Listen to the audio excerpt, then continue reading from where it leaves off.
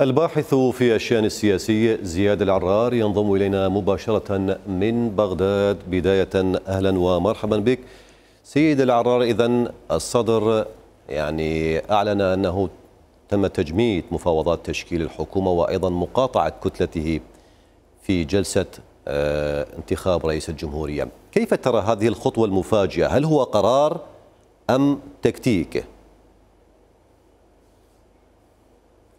مساء الخير لحضرتك والمتابعين الكرام. هو إجراء سياسي يبدو أن الضغوط الخارجية قد مورست بشكل كبير على شركاء السيد الصدر وبالعودة إلى أساس رغبة التيار الصدري بتشكيل الحكومة الجديدة. كان خياره بين أمرين إما أن يذهب إلى حكومة أغلبية وطنية سياسية أو يذهب إلى خيار المقاطعة. والتيار الصدري وعلى لسان زعيمه السيد مقتدى الصدر قال إنه سيذهب إلى المعارضة. إذا, إذا لم يتمكن من تشكيل حكومة أغلبية تختلف عن الحكومات السابقة.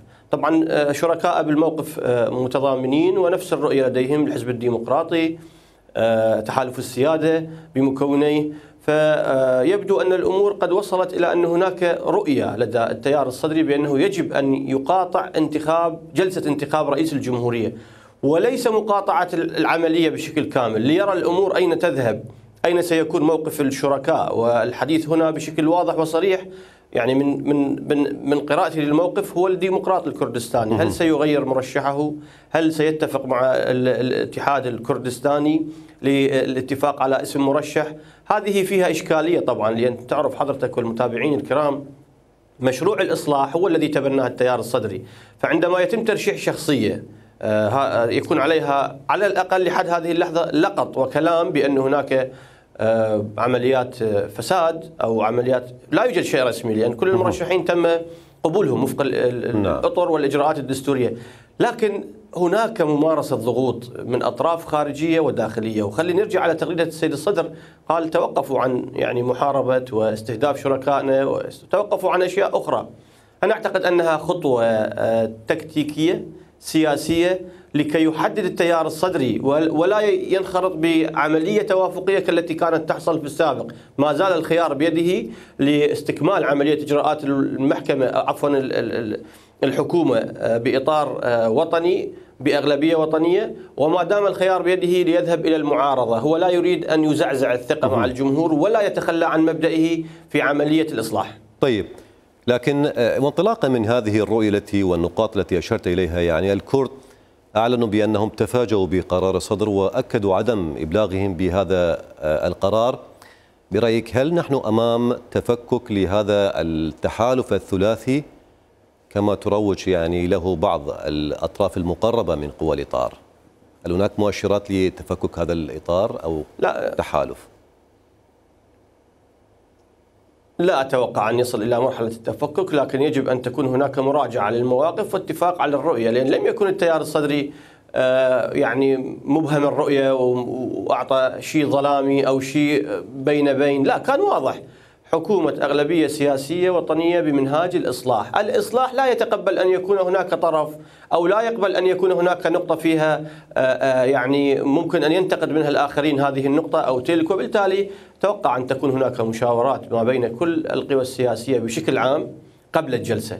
وأن تكون هناك مشاورات ما بين الكرديين الديمقراطي والاتحاد وأن تحصل مشاورات وقد يصل المشاورات إلى لقاء سريع. قد يكون ما بين التحالف السيادة ما بين التيار الصدري والحزب الديمقراطي. لأن الوقت أصبح محرج. يعني لا أعتقد بأن هناك من يقبل بأن ندخل في فراغ دستوري. يعني يوم ثمانية لازم يكون عندنا رئيس جمهورية جديد. إذا لم يحصل سيبقى رئيس الجمهورية الحالي وسيبقى رئيس الوزراء.